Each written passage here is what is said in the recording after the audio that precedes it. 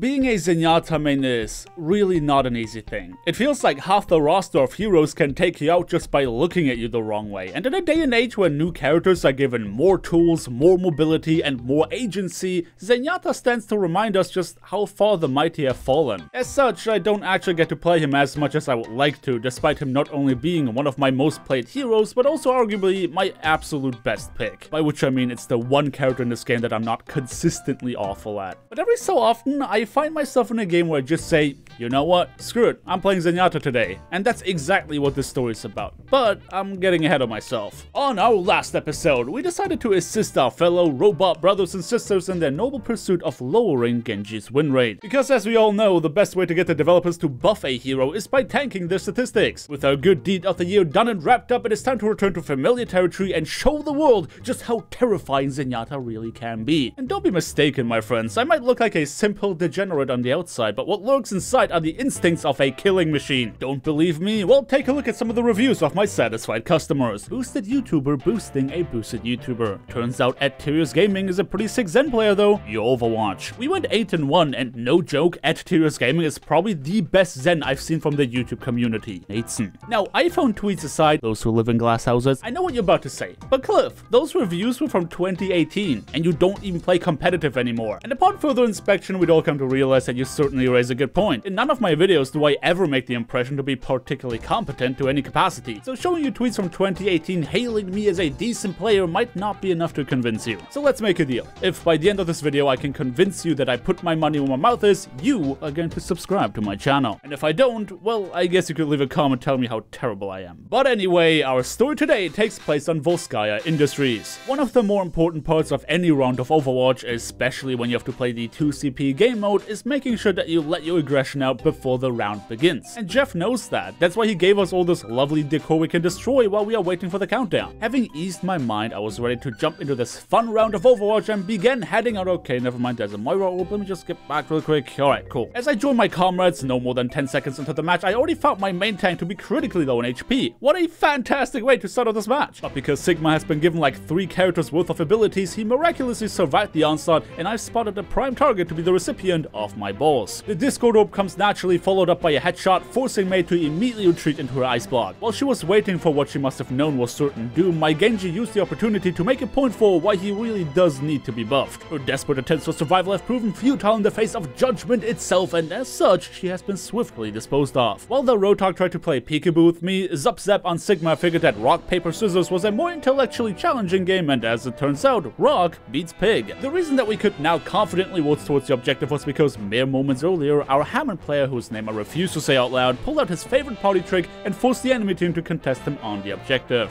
We steadily continued to push forward, leaving less and less space for the enemies to maneuver until they eventually found themselves stuck in a corner. Zupzep and I were working like a well-oiled machine, complementing each other's gameplay through swift usage of Discord orbs and rocks until finally the enemy tracer found me. It is now that I'm going to demonstrate to you the power of terrible game design, because as you can see, in Zenyatta we have a character with zero defensive capabilities, zero mobility, and zero means of defending himself effectively without the help of his team. And all of that would be fine and dandy considering the increased damage output he was given. However, Jeff Kaplan and the Overwatch development team, in their infinite wisdom, have decided that a character featuring no mobility and no defensive capabilities also needed one thing, a massive hitbox. Marvel in awe and disgust as this tracer melts away my HP through the power of shooting my knees to then be rewarded with, that's right, headshots. Resentment towards broken hitboxes that haven't been fixed in four years aside, my Mercy decided to not only put herself in danger, but actually sacrifice her life in order for me to walk this earth once more. Having witnessed such noble sacrifice, I made sure to use that second chance well, and while my floating robot body can't literally walk this earth, I made sure to acquaint Mercy's killer with the sole of my shoe anyway. Well, I guess it's time to carry these kids.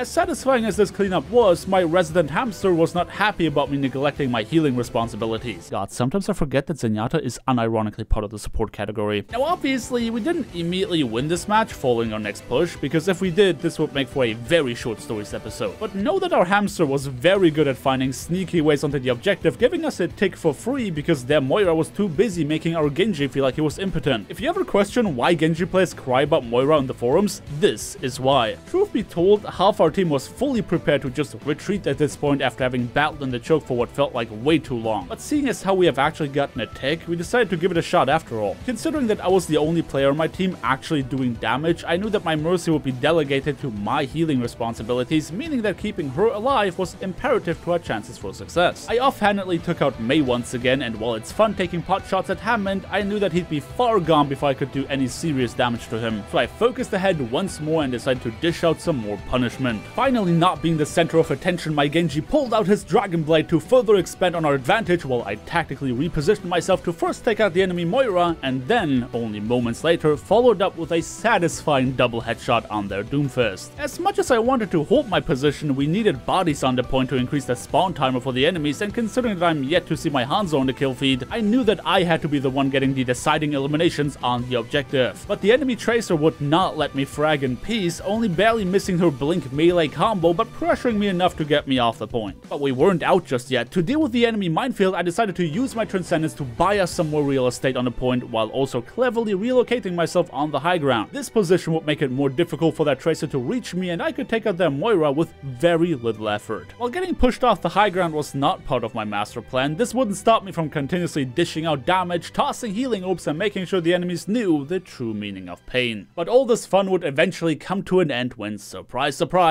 another hero that kills Zenyatta for free rolled out of spawn. This character is the reason I need therapy. As much as I appreciated being the recipient of another resurrection, this team fight was a long lost and all we did was bleeding time off our clock without getting another proper attempt. And seeing Doomfist fly past me definitely hammered home that I should be taking my leave. Observing the enemy Hammond roll towards me, many a Zenyatta player would start shaking in their sandals, but not me. Because yes, usually the slam combo makes for a free kill on the no mobility robot, but because of the simplistic way that he was engaging me, I could just sidestep away and punish him for his mistake. And while I felt really good about that outplay, it wouldn't take long for my Hanzo, whom I am still yet to see on the kill feed, to go for the absolute god play of leaping his useless existence into me, causing both of us to blow up thanks to Tracer's pulse bomb. And to make matters worse, my Mercy decided to resurrect him over me. If you didn't previously think that this fight was lost, then this play would certainly be the nail in that coffin. Mercy paid dearly for resing the wrong target, ending up on a similar spawn timer as me, and as we made our way back to the front line, we encountered a few enemy players pushing towards our spawn. And as much as I would have loved to pursue the giant hamster mech, there were more urgent matters to attend to, so I marked the enemy tracer with my Discord orb, following her every move. With her HP being critically low, there was only one place she could conceivably want to go to. That meant that I could be the one slipping up the health pack as the Auto Ball returned and realized that he couldn't take me out fast enough. Well, I guess you always meet twice in life because while there was a worthy attempt of an attack to be made, if you try to combat hypermobility with no mobility, it's usually the latter that is going to lose. My Mercy realized that it was her fault for not pocketing the obvious carry of the team, and it probably dawned on her that using Resurrection on her Hanzo did not make for a great return on investment either. She once again sacrificed herself to bring me back to the land of the living, and I had no choice but to go in. Keeping a close eye on the Tracer made me tunnel vision my way backwards into their Sigma, which meant that I was forced to use my Transcendence in order to survive. At least this time I could actually save one of my teammates by using it, and watching the enemy break walk backwards into a minefield was certainly a nice bonus. But you know the name of the game. If we are using all these ultimates, then that means that the enemy team can do the same, and we ended up losing that fight. This is the sobering moment in every Zenyatta player's game where we have to submit to the fact that DLC characters have ruined our ability to play our favorite hero. But hey, if they can take me out for free when I play Zen, I guess it's only fair for me to do the same thing to them by also playing a DLC hero. And as far as my legendary gameplay goes, well, this is pretty much it. And I want to make sure that you see this entire process because that really is the way it usually goes in most of my matches of Overwatch. Zenyatta is great, and he's definitely great fun, but when so many characters in the game can just dunk on you with you being able to do nothing but blow your ultimate,